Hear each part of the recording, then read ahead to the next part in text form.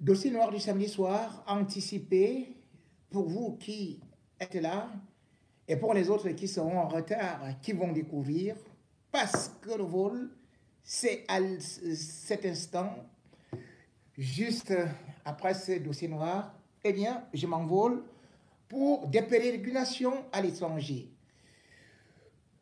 Eh bien, je vous salue, soyez les bienvenus. On ouvre les tiroirs, on met l'accélérateur et on fonce droit.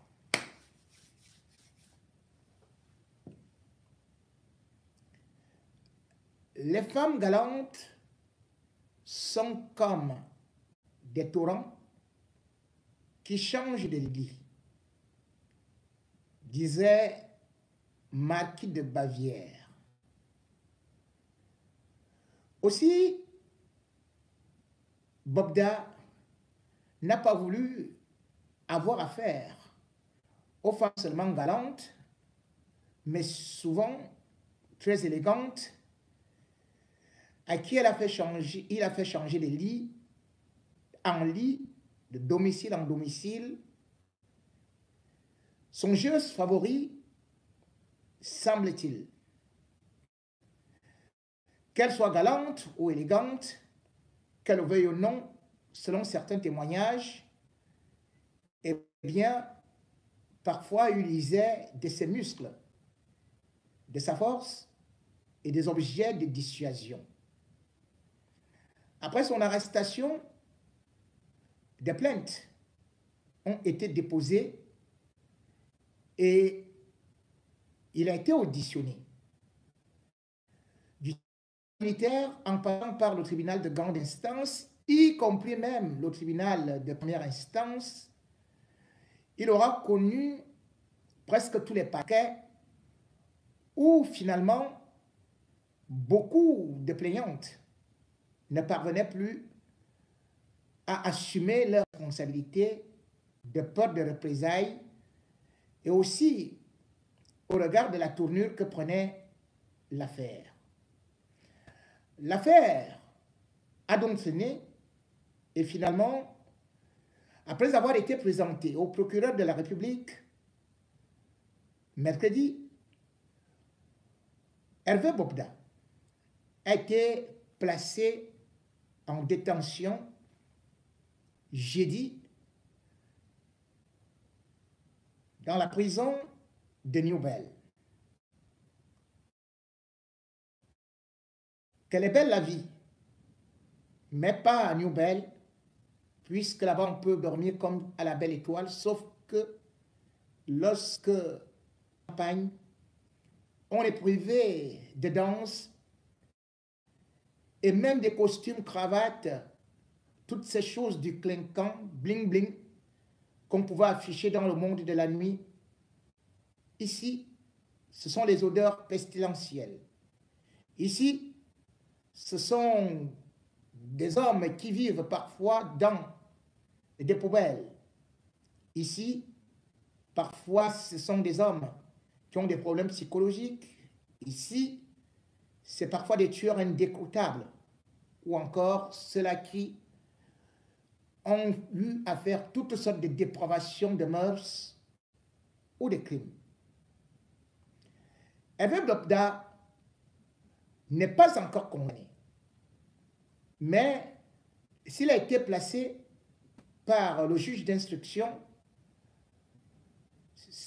cela veut dire qu'il y a eu certainement certains éléments clés qui ont poussé le juge à prendre cette décision, ou même le procureur déjà, qui l'a inculpé. Il faut donc se dire que c'est un long feuilleton, un grand épisode qui n'est qu'au début, puisque cette détention reste provisoire. Mais cela peut-être pourra aussi permettre à certaines victimes de respirer. Hervé Bobda a-t-il commis tous ces délits, tous ces crimes? Difficile de dire, dans la mesure où, depuis son arrestation, accusé de porter le VIH, quatre tests ont été effectués dans des établissements hospitaliers différents. Ce qui n'a pas réussi à détecter le VIH. Bobda, sauf peut-être compte expertise, au moment où je vous parle, est donc séro-négatif. Les victimes qui ont eu à l'accuser, certains ont pris la tangente, puisque déjà beaucoup ne sont pas venus à la confrontation et ont signé l'abandon. D'autres victimes étaient un peu dans la confusion, ne connaissant pas trop définir la maison et balbutiant un peu devant Hervé Bobda comme s'il les électrocutait, comme s'il avait encore quelque chose qui les dominait. Peut-on dire que pour le test séronégatif, il est si impuissant au regard du mandat des dépôts qui envoie donc Hervé Bobda en prison, ce n'est pas seulement le VIH, mais c'est d'autres crimes ou délits, c'est selon, qui ont été constatés et qui sont devenus des charges. Je me permettrai donc de vous dire que ceux-là qui sont chargés des enquêtes ont pu réunir quelques indices.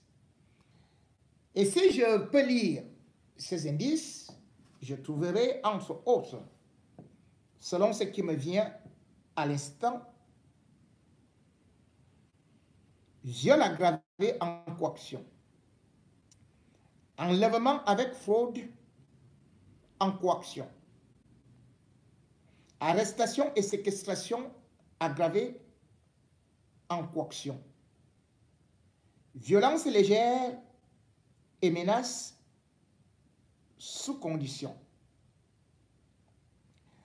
Voilà donc les chefs d'inculpation qui ont conduit Hervé Bobda à la prison de Nouvelle dans la soirée de jeudi. Il faut préciser cependant que les enquêteurs ont requis, par exemple, l'exploitation des caméras de surveillance de domicile et l'exploitation du disque dur. Selon l'avocat d'Hervé Bobda, ce dernier n'était pas compromettant. Mais là, c'est son avocat. Quant aux enquêteurs, ils n'ont pas voulu commenter, certainement parce qu'ils ont trouvé quelques indices. Les autorités judiciaires également ont eu à prescrire des relevés téléphoniques et particulièrement antiques semi au travail pour essayer de reconstituer certains faits ou certaines communications avec une des victimes. Ces communications qui avaient été effacées dans le téléphone de Hervé Bobda. Également au niveau de la défense, on a requis qu'on puisse exploiter les caméras publiques puisque certaines victimes ont dit qu'elles ont été agressées sur des voies publiques. Pour l'instant, puisque la défense n'a pas toutes les informations, tout comme nous qui commentons juste l'information et qui n'avons que des bribes sans avoir le fond du dossier, nous pouvons donc dire que Hervé Bobda n'est pas complètement innocent.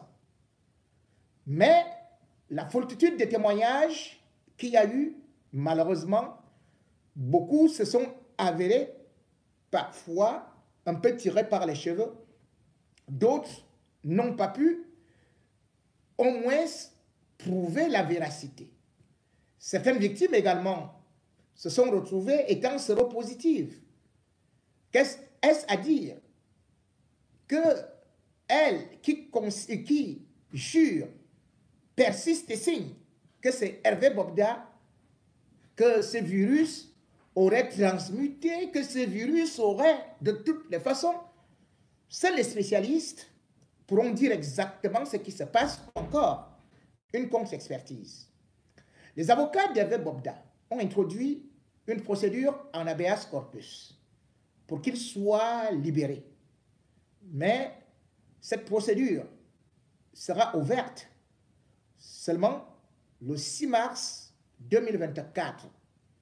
Et c'est là où on saura si Hervé Bobda pourra comparaître libre ou alors s'il est maintenu en détention. Du côté des victimes, c'est un ouf de soulagement par rapport à cette décision et surtout, elles peuvent se dire qu'elles bénéficient d'une protection. C'est aussi une alerte, un avertissement à ceux-là qui, ayant beaucoup de moyens, ayant des gros bras, ayant des armes, ayant des possibilités d'intimidation et beaucoup de relations, se disent qu'ils peuvent tout faire sans que rien ne puisse arriver.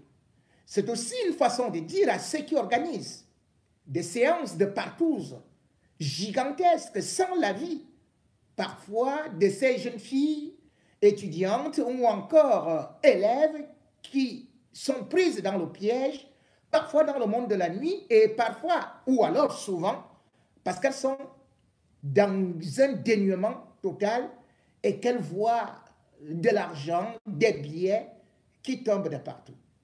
Mais cependant, il faudrait aussi dire que Eve Bobda n'est que la partie visible de l'iceberg, puisque justement, d'autres sont encore là.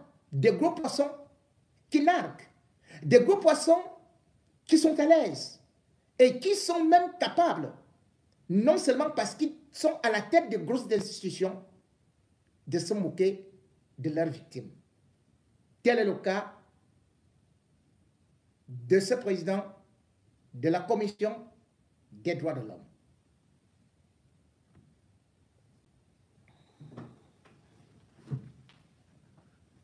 Droits de l'homme ou droit de puissage. Lui,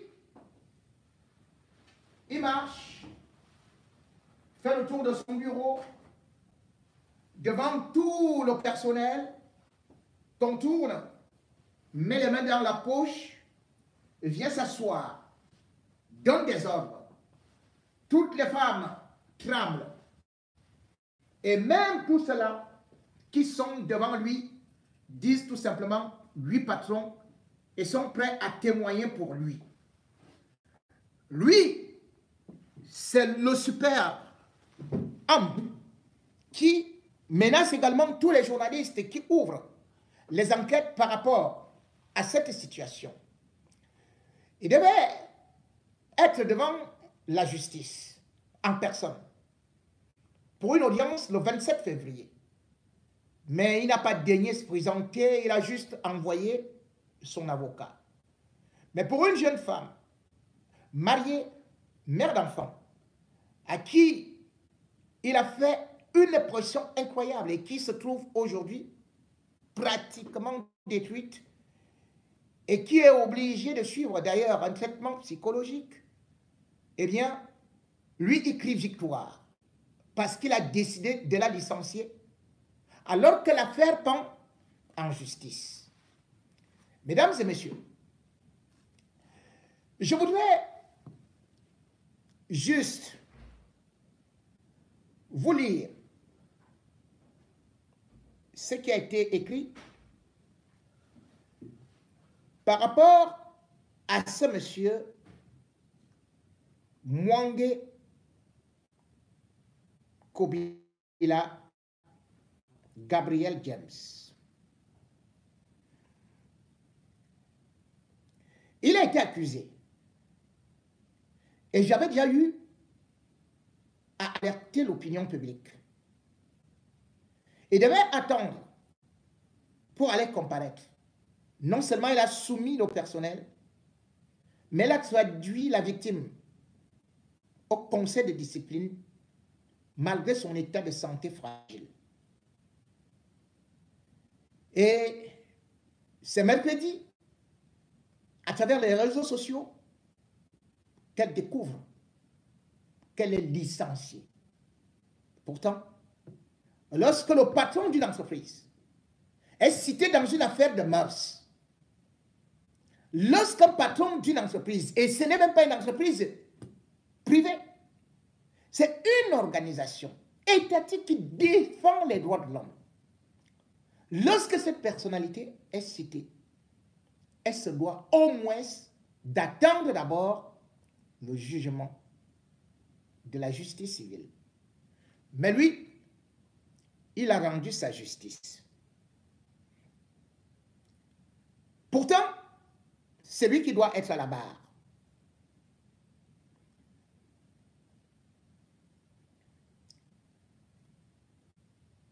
Je vais vous lire juste.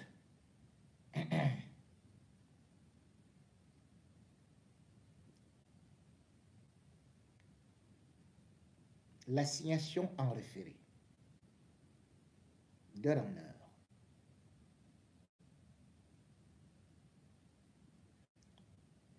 L'an 2024 et le 26 février, agissant en vertu de l'ordonnance numéro 0256 rendue le 23 février 2024 par Monsieur le Président du tribunal de première instance de Yaoundé, centre administratif, laquelle ordonnance sur requête est signifiée en tête des présentes.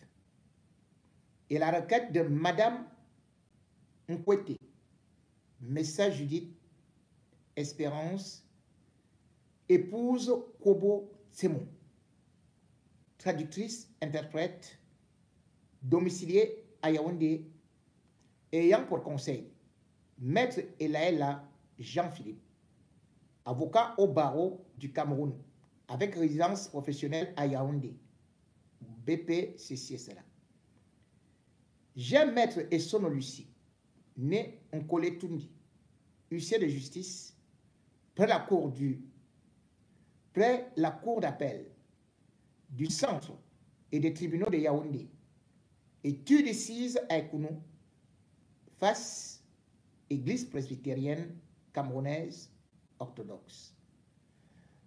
Donne assignation à la Commission des droits de l'homme du Cameroun, dont le siège social est à Yaoundé, au lieu dit hippodrome, prise en la personne de son représentant légal en ce bureau de Yaoundé, ou étant et parlant, ils ont signé. D'avoir à se trouver et comparaître en personne à l'audience et par devant Monsieur le Président du tribunal de première instance de Yaoundé, centre administratif, statuant en matière de référé et siégeant en son cabinet ou en la salle ordinaire de ses audiences, si au palais de justice de la dite ville le 27 février 2014 à 14 heures précises. Pour, attendu que la requérante a été recrutée à la Commission des droits de l'homme du Cameroun en qualité de traductrice interprète courant 2018, qu'elle a toujours eu à exercer son activité professionnelle avec loyauté, intégrité et dont les services rendus ont toujours œuvré pour la bonne image de cette noble institution qu'elle ne cesse à porter à cœur.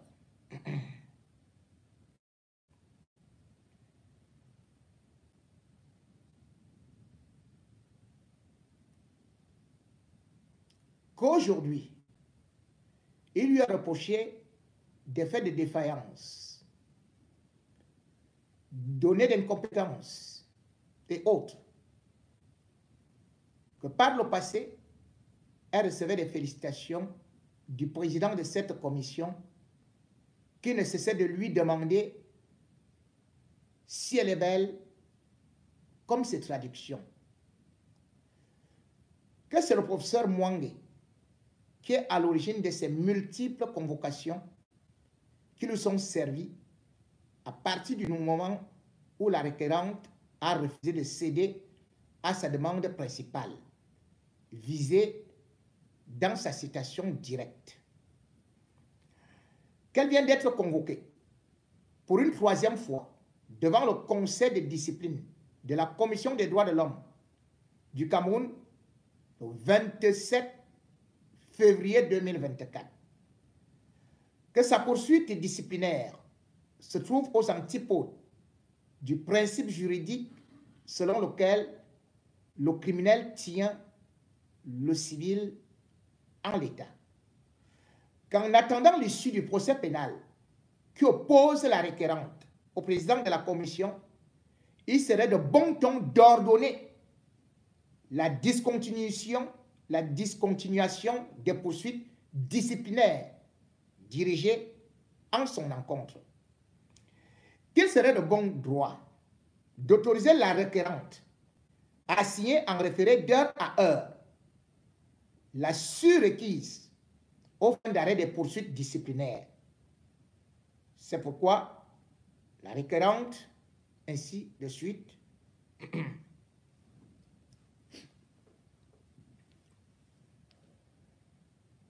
Mesdames et messieurs, voilà donc une femme qui poursuit un individu dangereux. Un individu qui l'a mené dans l'hôtel et qui exerce une domination en tant que patron. Un individu qui lui a dit que c'est le ciel qui lui a prescrit la femme de sa vie, qui est la femme d'autrui? Voilà un individu qui prétend, pas qui prétend, qui est président de la commission des droits de l'homme, mais qui est en train de détruire une femme. Je vous ai lu les messages WhatsApp avec constat d'huissier.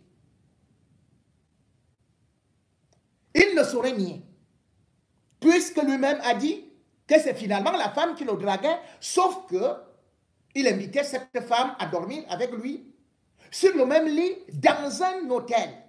Et ce monsieur, qui se dit serviteur de Dieu, et qui a pour secrétaire particulier un autre escroc, dangereux, sorcier, qui est en fait un planificateur de ce que l'on peut appeler le bobdaïsme. Ce monsieur est pire que Bobda. Le président de la commission des droits de l'homme est un terroriste sexuel. Mais comme il a de l'argent, comme il se dit puissant, comme il a du relationnel, le voilà qui prend donc la situation professionnelle d'une femme et la jette dans la poubelle. Voilà des gens qui prient, qui disent et qui s'adressent à Dieu.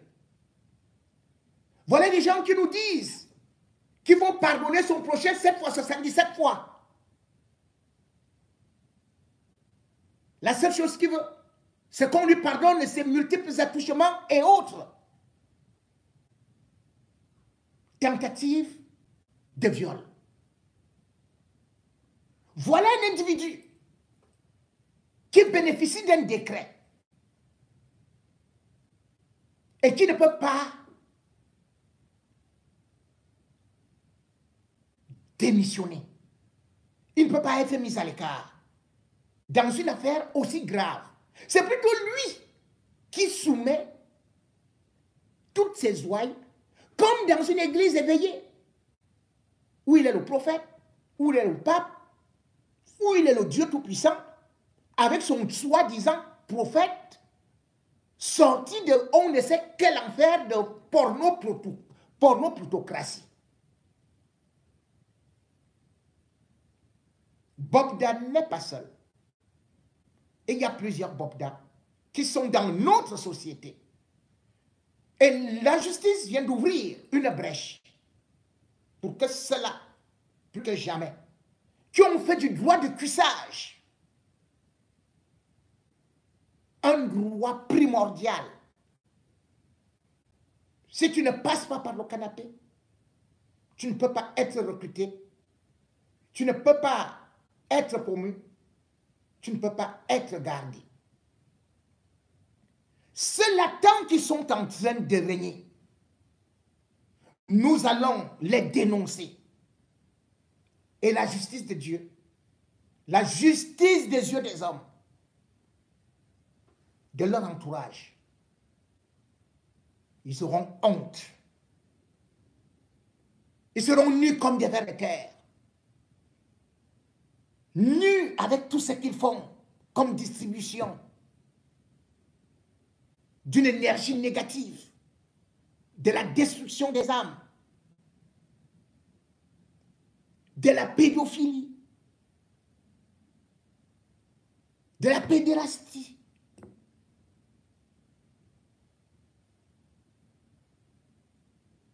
Et qui font serment, qui font serment? Sur l'ombre du crucifix.